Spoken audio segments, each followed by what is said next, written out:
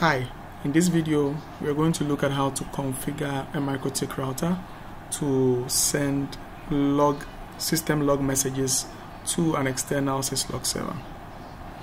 Now MikroTik router out of the box logs system information to the, into the memory of the device and you can see that by going to the log page as we have here or as you can see here. Now in the case of this MikroTik router that we are using for this tutorial, you can see that there's been some logs that have been saved um, that you can look at as an admin, right? Part of the information you typically will get here will be the date and time the particular activity or log was, was stored. Um, also shows you the topic and then the message provides you more details on that. Now for a lot of very small deployments, I mean, logs that you get saved to the device should be enough for you to be able to tell uh, exactly what probably has occurred over uh, a period.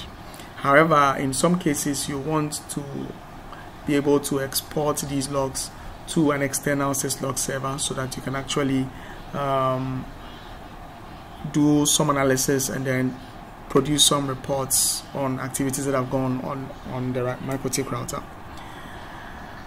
Now, for the login to occur, there are rules that are actually set up, which you can actually find when you go to system logging. Right now, by default, critical error info and warning logs are stored on to memory, memory, memory, and then also another action called echo. Right so you there are actually actions that are configured against the different levels or the different uh, logging levels. And depending on which logging level it is, a certain action takes place.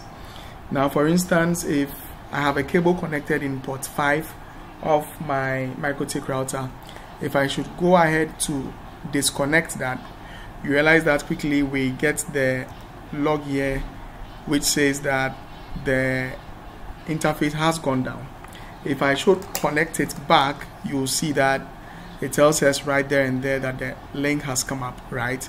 So we get real-time logs on the system. But you'd actually have to log on to the MikroTik and then come to the login site to be able to view this right?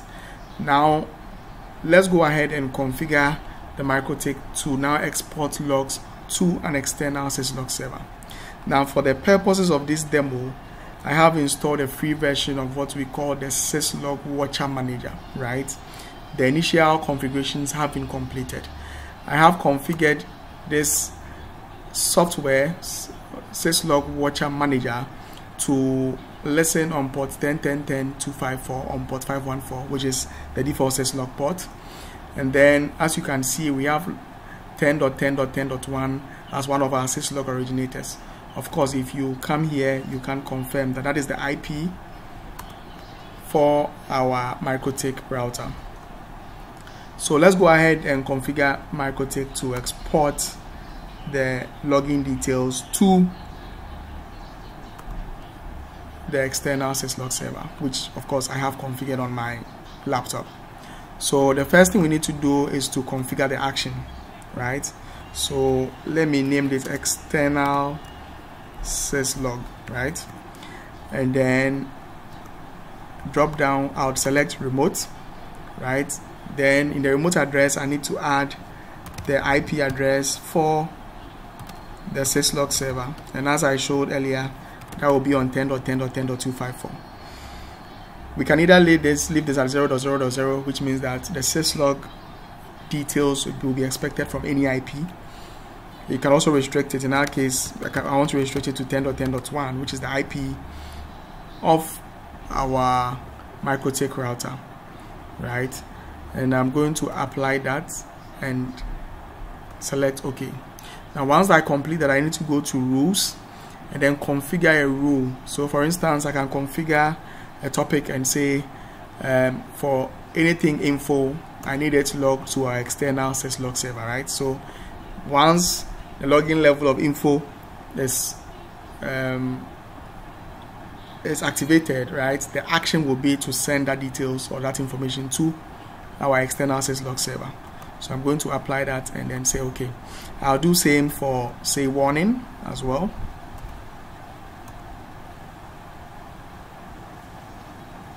Warning then external syslog server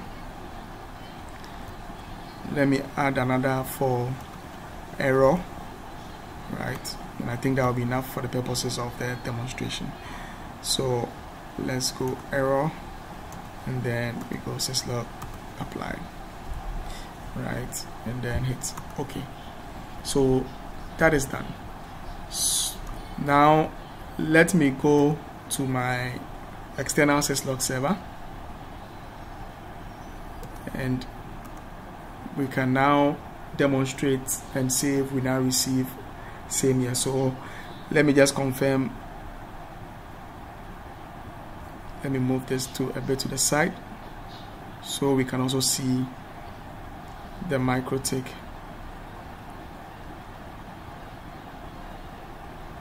login page right? So I'm going to disconnect the cable on port 5 again right then I'm going to connect it back.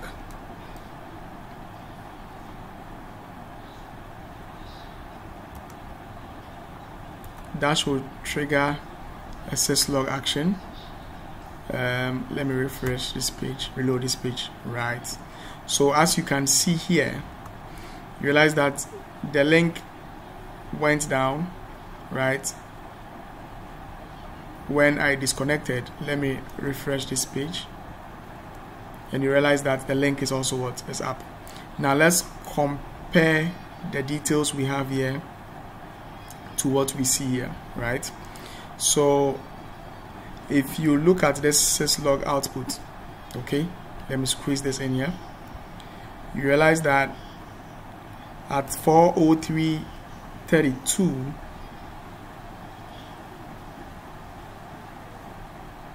40332 right?